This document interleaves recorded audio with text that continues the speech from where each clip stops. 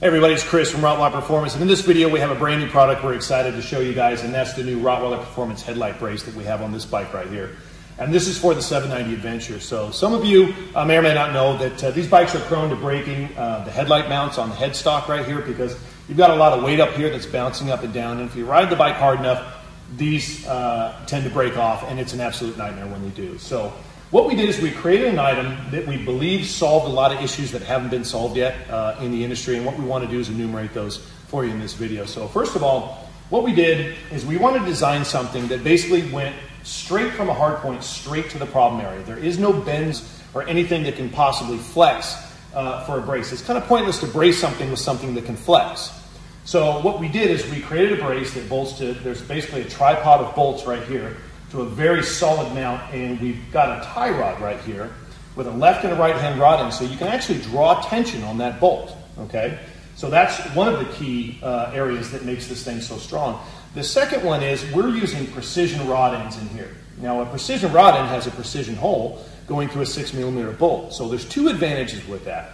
The first advantage is it's not a slot. We've seen some mounts out there with a slot in, and the problem with that is you're, you're relying solely on the pressure of the backside of a very small head against the material. Okay, so if that bolt comes loose at all, or even if it doesn't come loose, you have a slot that that can move around in, and especially if it comes loose.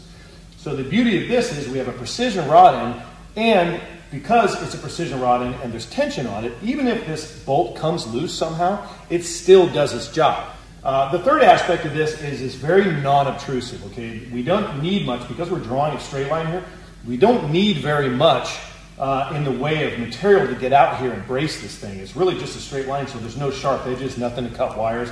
Everything clears rather nicely. It's a very clean setup.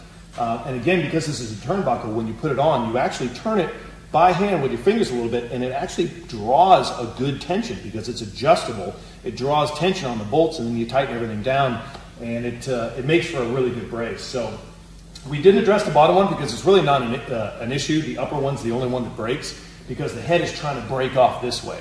Um, so basically what this is is a very inexpensive piece of insurance that you can put on your 790 that's very easy to install that when you're on that, that, that dream trip of yours that's very expensive and you wait a long time for, you're not going to get halfway through that trip uh, and end up at, at, some weld shop trying to uh, pay a guy a bunch of money to re-weld this. So uh, thanks for watching the video. I hope this uh, all makes sense to you guys, and uh, we'll see you in the next one.